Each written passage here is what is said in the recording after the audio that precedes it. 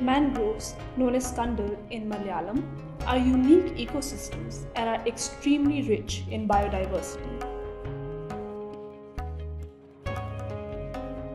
They are highly adaptive and are intertidal coastal habitats along shorelines, estuaries, and backwaters. India accounts for roughly 3% of the overall mangrove cover in South Asia, out of which the state of Kerala hosts 17 square kilometers. But these ecosystems have been threatened by urbanization, agriculture, aquaculture, and linear infrastructure. Over the years, Kerala has lost 90% of its mangrove cover. In order to address this issue, the Wildlife Trust of India initiated the Kannur Kandal project in 2006.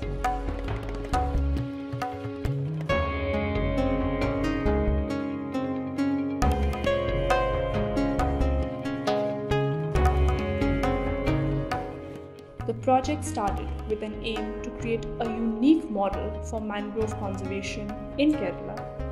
In 2006, Wildlife Trust of India started to secure mangroves by purchasing these unique ecosystem from the private owners in Kannur district of Kerala with the support of World Land Trust.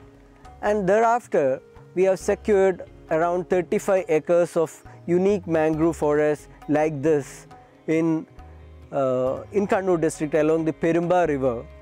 And uh, we have been protecting this mangrove area and we are also uh, establishing this as a green interpretation facility which invites students and general public to learn and experience mangroves in its habitat and this is one such awareness trail you can see and uh, more than 80,000 people has uh, involved in the awareness programs of Kannur Kandal project of Wildlife Trust of India in, in these years.